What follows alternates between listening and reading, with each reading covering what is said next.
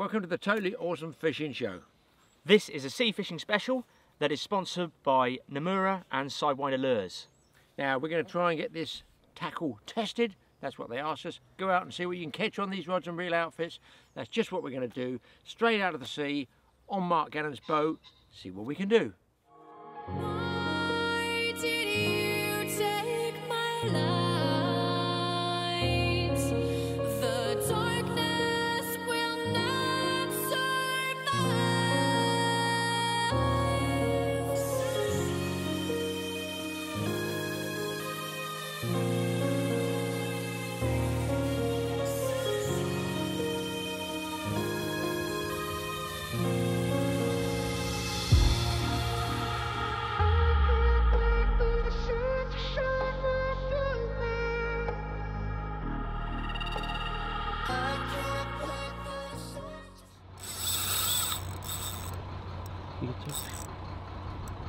Get on there. Gonna need new elbows.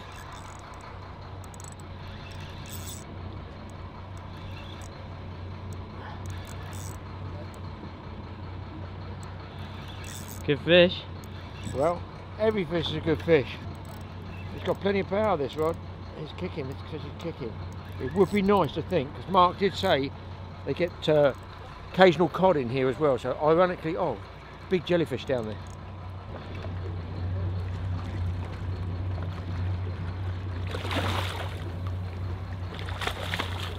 That's, that's a lovely colour catching it.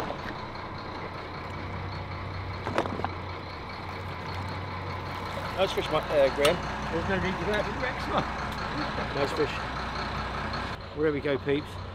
Never used this lure in my life before. I had one bang on it. I just fancied that colour. Then that one's called the Skerries, Sidewinder Skerries. But it's just such a long, narrow one. It's got to be natural for a fish like this predatorial pollock to nail it. So it turned out. Lovely looking fish.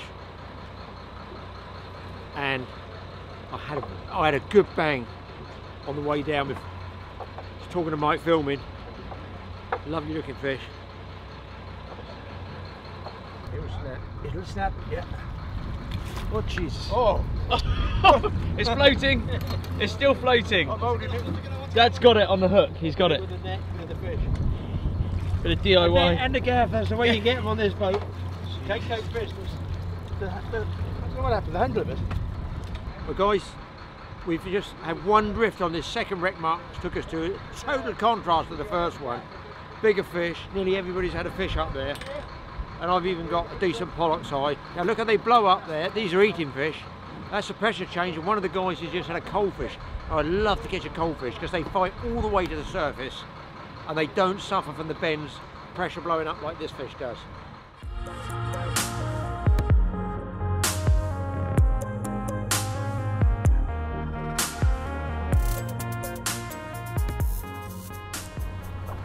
Oh. Come on.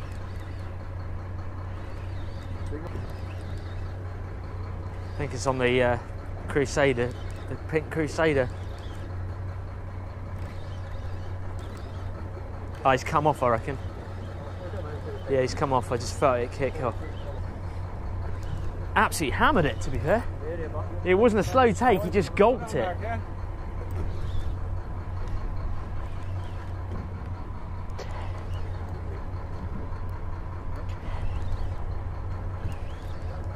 Cut off.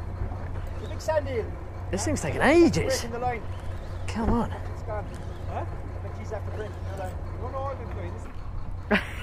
Double, double guys. hook up. Double trouble. Totally awesome double trouble. Red and blue. Jeez. And Oh, here we go, here we go. What have I got? What is that? That's all the air. Oh, There's Mike's got a ling. ling. nice. Come on. Yes, here we go. Ling on the lure. Look, there's, there's the yeah, the rattleback. Yeah, Dad's in. What do you reckon, Dad? Well, it's a Species. ling. I'd have thought it was a- Mark's got a monster ling. He's just Yeah, had down there. Look at that. the back of the neck there. That's a big, big ling. big ling. That's it. And Dad's hooked up here. 20. You can see by the bend. I've got a ling as well. Well, it should be a lure 'cause it's on a sidewinder lure. But Yeah. It'd be interesting if the ling's taking a sidewinder lure because I just hit the deck. Yeah. and About three turns, bang. So Yeah, I yeah. feel, I feel it might be a ling. That's a, And that's the a, other guys loaded up over there as well. yeah. You got fish coming up everywhere now. There we go, guys. You can get on the giant size sidewinder a nice ling. See a nice fin. These good eating size. These ones. Fish like that, but no trouble taking that big lure. And the big thing I've got here is he hasn't shredded it.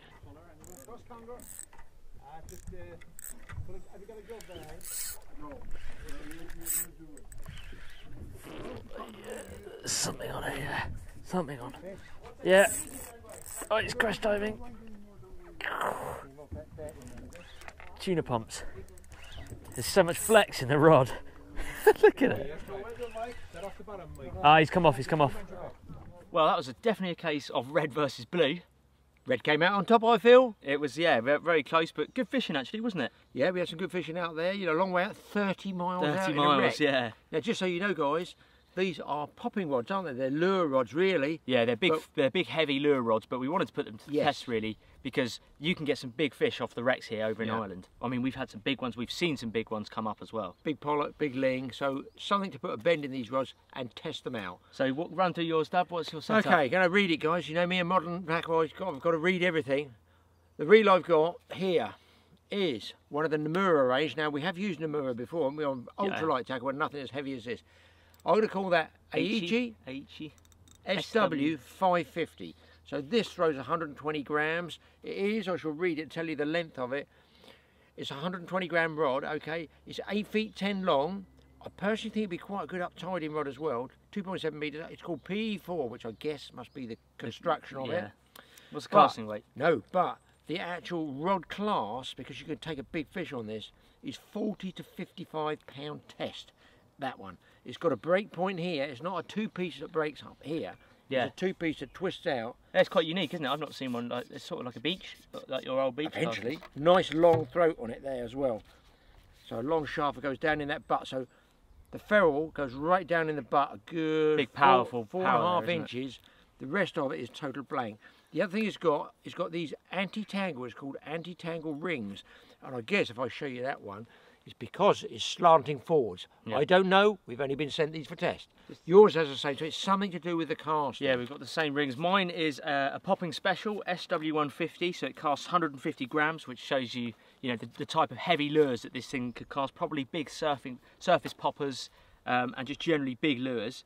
Uh, seven foot eight or two, seven foot ten, sorry, or 2.4 meters. Uh, the reel I'm using a slightly smaller reel. It's, a, it's one by Nomura as well. It is an HE, but this is uh, the 4500, so it's a size down from Dad's. But what I did notice was yesterday, it's got a little gimbal cross cut in the butt. I don't know if yours got Yeah, the it's same. the same. Yeah. They both have. So if you had, look, these rods are intended. I mean, this is rated. What's the line rating on that poundage? What Is that one? On the reel. No, the rod? there. What's that? I can't say. 50 Six- to 70 pounds. 50 yeah. to 70 pounds. That's even more than this. But they've got a nice long butt section for the casting. It's for casting it's for the, the power. But you can put that gimbal into a rod butt in front of you. Hmm. If you're surface popping, and you can crank and crank and crank, and if you load up on a fish, you've got yeah. plenty of power there, and you know that's not going to skid all over the place. Okay, so what did we catch on yesterday when we were out drifting over the wrecks? I personally rummaged through the tackle box and came up with a sidewinder that I like the look of, the colour and the shape. It's called a Skerries eel. Some of these are new models. We know Sidewinder, they're world famous. They are fish We've catching used their lures for they're years, fish catching yeah. machines. Loads of you anglers out there have heard of Sidewinder lures, but they're always bringing out new ones. Dave Kitty, Kitty Wholesale, and Sam are always bringing out new stuff. They talk to charter skippers, they get the feedback, and then they go out and put it into practice, and that helps the angler. So this is a Skerries eel, six inches, 25 grams. Now you can cast that one there, but like I just well I just like the shape because it looks like a launce, which is the greatest sand eel we get here in the UK. So uh, I actually started out with one of these Crusader shads, and I lost that first fish, and I got that fish really early. Uh, but I've always been a big fan of pink when I've when when we're you know deep dropping off wrecks and reefs here, either in Ireland or UK. I've always been a big fan of pink, uh, especially for pollock and cod. Uh, last time I came to Ireland two years ago, I did so well on a pink lure. remember, yeah. Now this one is called the Crusader shad, and it's actually quite interesting. It's got a face uh, that almost looks like a tarpon, doesn't it? Really, It's like women's jewellery to me. I'll tell you, it- that's a good colour. It looks like tarpon, yeah. Uh, but this one is four inches and it's 23 grams. It, it, it would probably cast incredibly well, but I would say vertical jigging. This is this is probably your best bet. It's got that up slanted lip as well, uh, you know, like the, the, the tarpon face there. But very good colour, nice size. I really like this size of lure, about four inches. I'm Yeah, a big, I'm a big fan of bite four, size. Yeah, I'm a big for pollock and cod. I'm a big fan of about four to five inch lures. Well, after catching a few pollock on my rig and my lure, I had to, we call it the bomb. I had to up. drop the bomb, which is monster, monster lures. Now these were weedless. I'm going to tell you what they are because these are these are all fairly new from Sidewinder. I think they only Yeah. came out this year, as far as I know. It is a weedless, seven inches long Norway minnow. It's a hundred grams. So I'm guessing that's the sort of thing. If you went to Norway or somewhere, That- that's what well, it's ironic how it? it's called a minnow, meaning the size of the fish they get over there and lures they use over But in Norway. But it's weedless there. You can see how the hook just Slots in. lines up, slots in the back there. But you know they've got a good weight for dropping down. And actually, I got a ling as you saw. I did get a ling on these. Yeah. so they're good. Uh, now, one of the other lures that I did actually catch on and land the fish was, and this is another one I think from Sidewinder called the Rattleback. Really quite unique lure this. So um, this, just to give you an idea, is six inches, so it's slightly longer, but it's got that narrow kind of sand eel shape, really, isn't it? And it's 42 grams, so it is heavier. It's a heavier jig head. But I love the colour. I'm a big fan of translucent lures like that. And actually, just behind the hook, there is a rattle, and I don't know if you can hear this. There's a rattle just there behind the hook. Now you can charge, it's also glow in the dark as well, so you can charge that up in the sun. It was lovely and sunny yesterday. Because we're deep dropping, it's going to be, I think it was 100 metres, Mark was saying? we're fishing Uh, yeah, 110 yeah, metres yeah, deep. so it's going to be way darker down there than it is up on the surface. It's not going to be pitch black, but it, will be darker. So that extra bit of boost from that glow in the dark rattle at the back there, I think really made a difference. Now today, a different day. It is. We're going in a small boat, one of Mark Gannon's small self-drive boats. We love those to death, don't we? Oh, they're brilliant, We're, we're yeah. captain for the day. And what we're going to be taking? What, what have I got? What have I got? Well, I like light. Super light. this What one you can read that. So it's that's- another surface popping one that we're going to try and get bent on a fish. Now this is one of the Icy range, which I had the Icy Pro before. It was probably one of my favourite rods of last year Yeah. for my mackerel, pollock, wrassing, bass, everything like that. And it was it was a really really good rod, and it cast about 10 to 35 grams. But this is stepping it up. This is casting 100 grams. Again, nice big long butt section for casting. Using the same reels as we did um, yesterday. Using the 4 5, yeah, yeah. 4500 on But that the. I, the, the, this is a much more kind of high carbon blank. My outfit's a light one. I've got one of these. Uh, I like these little reels. We've had these what a couple of years Oh, now. they're brilliant. Yeah, with our five pieces. Nam- Nomura again. uh, What do they call that? It's an That's the ACO. AIKO, A I K O. But you know they're fairly high speed retrieve, which is good for lure fishing. Um, this one is.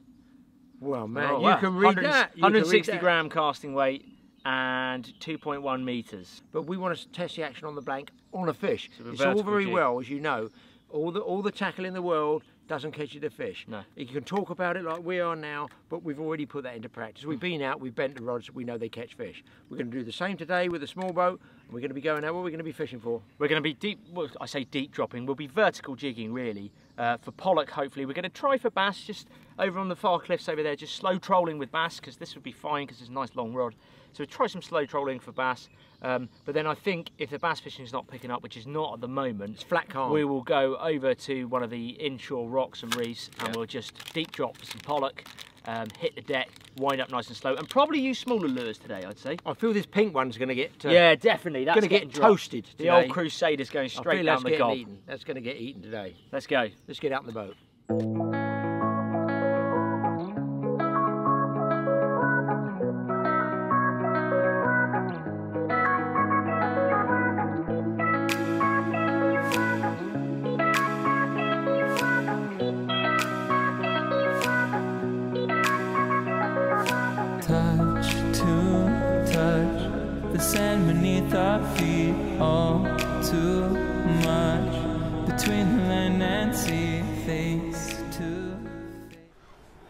Got to take it.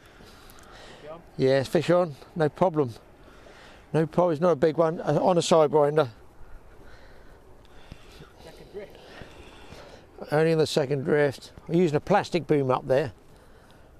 And a nice pollock. Yeah, not a big fish.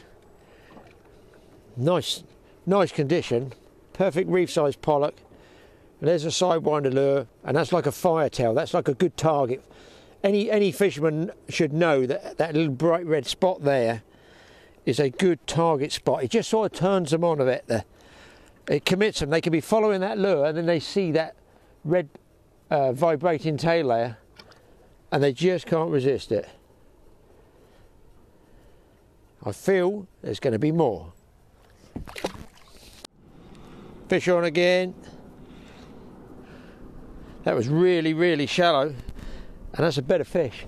Hammered it, absolutely hammered it. That's quite, quite shallow. We came into the reef that time, and you could feel the jig going through um, the kelp. There's all the kelp beds there, and he was just going juddering through the kelp beds, and just as I got the lure out of the kelp bed, boom, he grabbed it.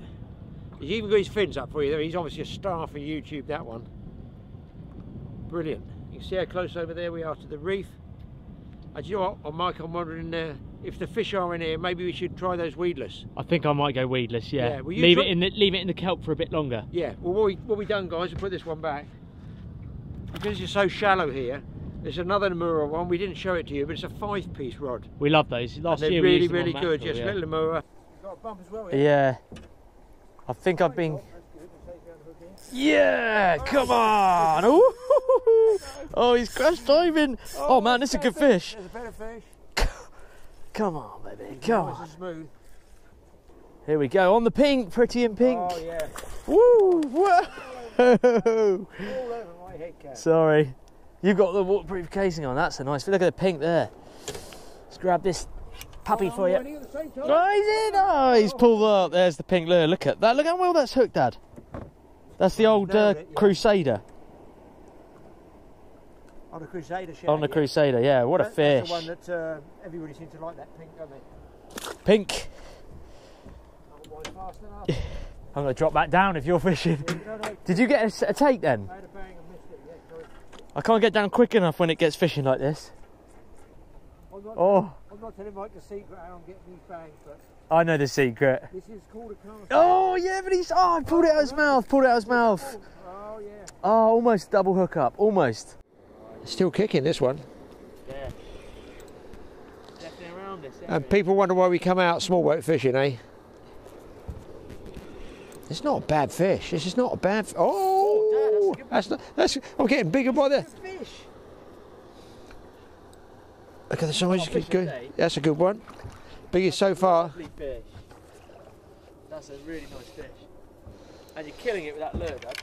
Well, is it the lure or is it the fact? The skill of the angler. The skill of the angler, the dangler. You can see why I told you guys about that little red tag there. And look at that pollock set against that background. That is the best of Irish fishing.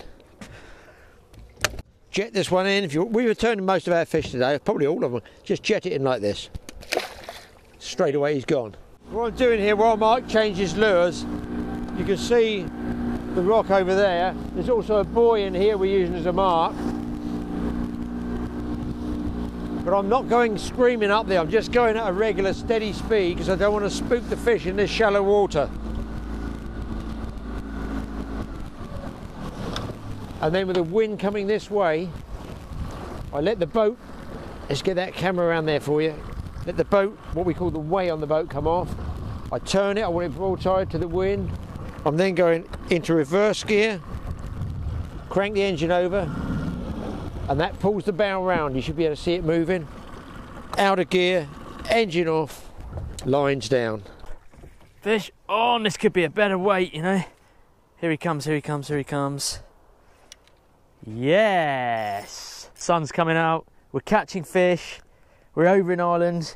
It's a fishing holiday. Life is good. Oh, good bite. Good take though. Good fish. I think the term is yeehaw. Yeah, nice one.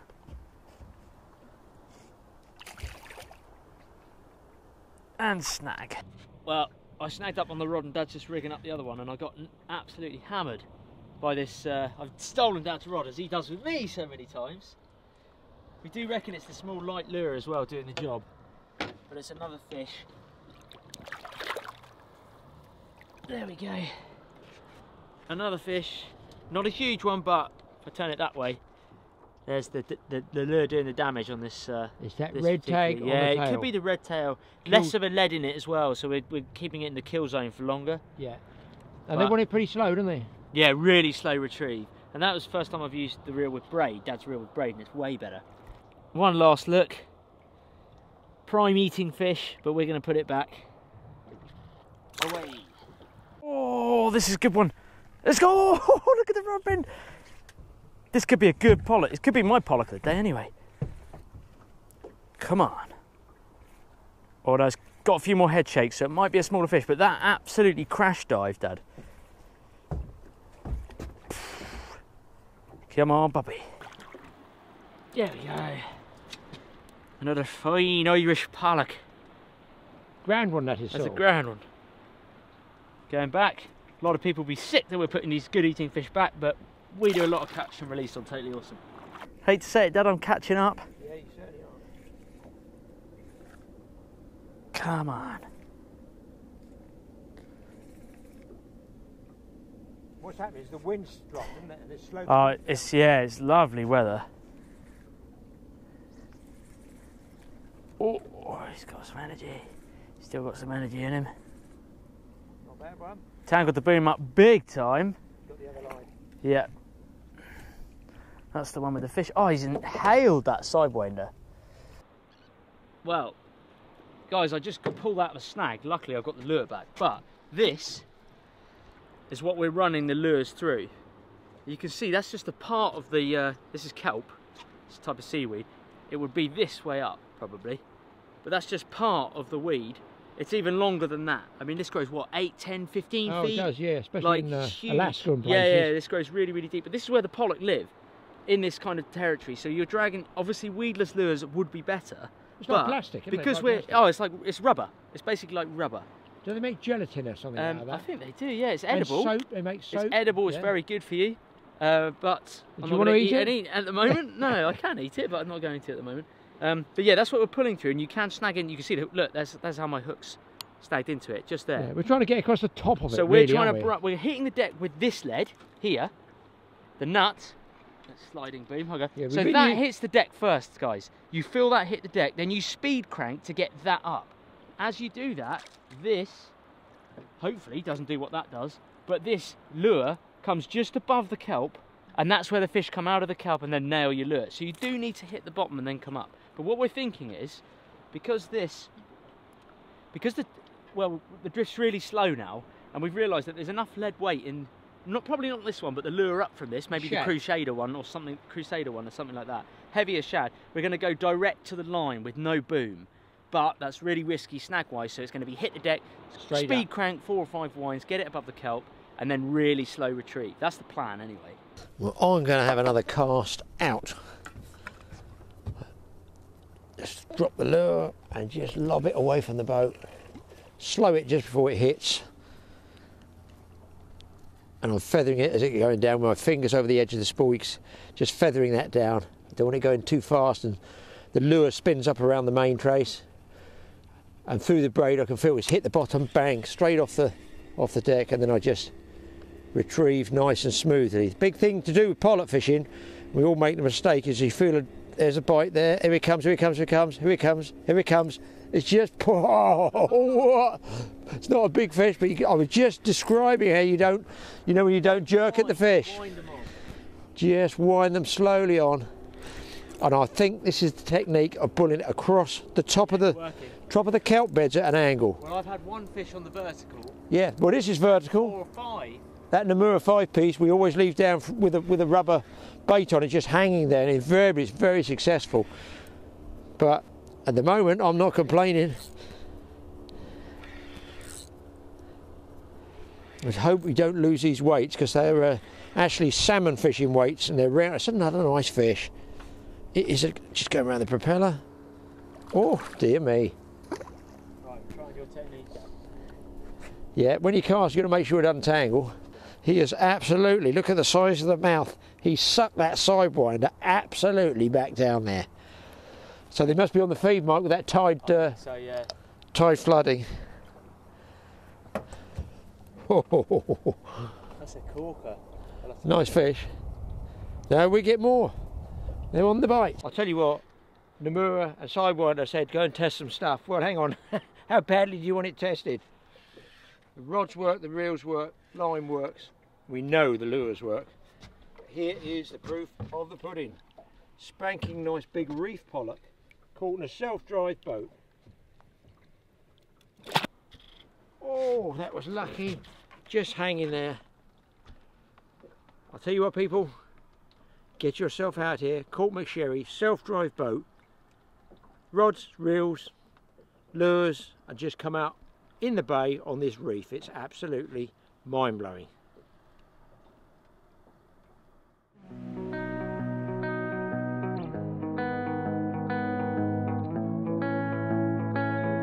Coast to coast.